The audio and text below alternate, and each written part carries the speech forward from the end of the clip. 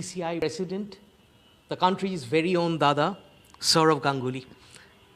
Sourav Ganguly, Indian cricket at this point in time seems to be at a crossroads. We have a new coach who, during his tenure as a player, was perhaps one of the best this country had ever produced. And we have a new captain in the white ball, both white ball formats of the game. As the, the administrative head of the, of the cricket uh, fraternity in India, how do you see things going from here on? You know, it's very difficult to predict what's going to happen in the future, but India is a great side. Mm-hmm. India is a very good team, and and and uh, and as you rightly said, you've got you've got a very good coach. It's in able hands, and and uh, and the captain as well. So we wish them all the best uh, because you know in this game you can't predict, but uh, cricket is a team game. So it's the players together, the captain and the coach, make it successful a lot of these players has made it successful over the last five years. So I don't see any reason why they can't be successful, and they will be. So I wish them all the best, and, and hopefully we can achieve greater greater heights in the years to come. Some um, big tournaments up ahead. Um, the T20 World Cup, followed by the 50 over the limited uh, format of the game World Cup, which will be played in India eventually in 2024. The team, as you see it now, you are hopeful? See, this is 21, so it's 22 next year. 22, 23. 22, yes. and so from 22 to 31, there'll always be a world championship every year. Yes. In the this cycle and the next cycle. Yes. And India will always be a contender. Correct. Uh, and I believe they can win. Mm-hmm. Uh, I believed in the last five years as well that they could win. Uh, they've had a semi-final loss. They've had a, mm, a loss in the groups. Uh, so, but uh, just like any other Indian cricket fan, and I, I believe that out of the next nine titles, uh, which is to follow from this October, next October, mm-hmm. India will have their name in some. It won't be everything, but I'm sure they're good enough, and I know that they'll be the, they'll have their name on the trophy in some of them. Right, and um, um, Rohit Sharma, your um, you know your next um, you know, you've been pinning a lot of hope on him because obviously for the T20 format, for the uh, limited over format, he's now leading the squad. Um, is there a, a, challenge that he is, uh, you, you, know, he has in front of him? Will he be able? I mean, are you hopeful about him leading yeah. the way as his yeah, predecessors have? Yeah, of course he has. Uh, that's why the selectors have backed him. Yeah. Uh, he will find a way to do well, and I hope he does. Uh, he would want to, as every one of us wants. His record in IPL for Mumbai Indians is phenomenal, mm-hmm. uh, winning five titles. Correct. Uh, he had captained India in an Asia Cup a right. couple of years ago, which India won as well, and right. India won without Kohli. Right. Kohli is such a huge strength to this team. Absolutely. To win a title without him speaks volumes of the of the of the team's strength. Absolutely. Uh, so he has success. He has success in big tournaments he has a good team. Uh, so hopefully they can all turn it around. Mm-hmm. Um, you've um, ha- you've been part of the Indian cricket squad at very vital junctures. I mean, if there is a, um, a, a, thorough history to be written about Indian cricket, Sourav Ganguly would be at very crucial junctures. Uh, you have uh, led the team when uh, perhaps it needed you most. Um, and then you turned it around when you came back as a cricket administrator um, at this very juncture, where um, you know we are talking about, or some of us are talking about Indian cricket at being cross at crossroads, is Sourav Ganguly enjoying the job? I mean, it's it's it's also a challenge for you, is it not? Yeah, I think every job is a challenge. Mm, you know, when I was made captain, when I first played, when I was made captain, now mm-hmm. then I became CAB president, then I'm BCCI president now. So every job comes with a challenge. It's the same thing with Rahul. Mm. It's the same thing with Rohit. It was the same thing with Virat, who did so well as a leader. Correct. So, um, at this level, with such intensity, with such quality players, with so much at stake, everything is a challenge. Mm. Now, you just have to find ways to succeed. And, and I'm sure people, not just me, everyone, uh, needs a challenge in life. Needs because it's it makes you happy when you do well under under under testing situations because that's the way it is. It actually makes you believe that you're good enough to do it. So yes, uh, yes, it is, and and hopefully it's not just me because you know it's it's the president, the secretary, the Mm. joint secretary, the treasurer, the vice president. We all work together, and the staff at the BCCI. A team game. Yeah, so we all work together to run such a humongous Correct. operation because Correct. cricket in India is such a big country, Mm. and it's a humongous operation to run. Mm, mm, mm. So you know, it's been good so far. Right. Um, this bit of a controversy over you know the shifting of captaincy from uh, Virat Kohli to uh, to to Rohit Sharma, and and you know um, honestly, uh, the Virat Kohli fans across the country have had a bit of a disappointment. Now you have already explained your position, and it wasn't obviously the board's decision alone. It was a joint decision by both the board and the selectors.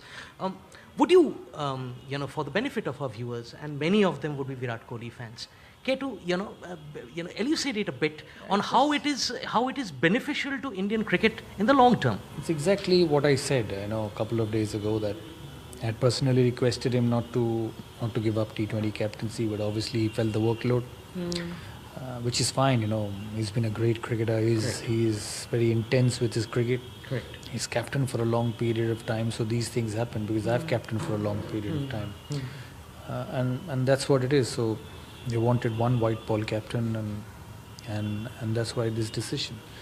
Uh, what is going to happen in future? I don't know. You know, uh, it's as I said at the start of this interview. It's a good team. It's got some fantastic players, and and hopefully they will turn it around. But why is one white ball captain important when there are different formats of the game? I mean, I mean, as an expert, if you could care to explain a bit. You know, a good team does not have too many leaders. Right. Right. You know, so I think that's probably that's probably the reason, and, and and that's what it is. Right. Um, talking about your challenges, it's been um, you know a couple of challenging years for you as well because of the COVID nineteen situation.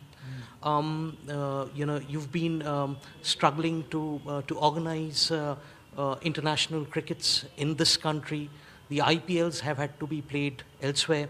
Um, what do you see happening in the next, at least, uh, you know, about a year from I now? we've, we've gone past it. Okay.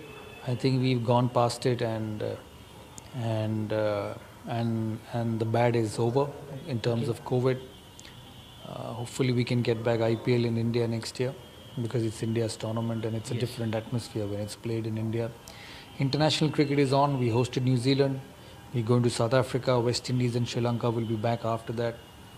So I think I think the worst is over. But the- And- but and good thing concerns- is- and the good thing is that we have been able to complete Indian cricket in spite of all this COVID uh, issues. We're going to Dubai, and I and and I must say that the sports authorities in Dubai have been exceptional. Our domestic cricket is on in full full flow like it was before. Last year was a bit of a break because of COVID. Our domestic cricket is on. We've we've completed almost every tournament. The Ranji Trophy starts in January. The junior cricket is on, so that makes me and, and there's been no no positive cases. Right. But but there is this fresh scare in terms of Omicron and, and its origin from South Africa and Africa. So so is that a, a botheration for you at this present Not point? yet. Not yet. We'll see. We'll see. We'll assess it uh, with in due course and see what happens. All right. Um, also wanted to ask you, you um, introduced pink ball cricket in this country. What's the future?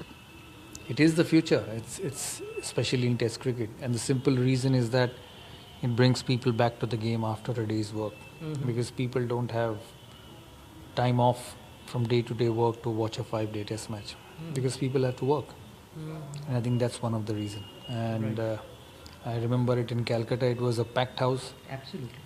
Uh, you see it in Australia, you see it in New Zealand, you see people just filling up the stands.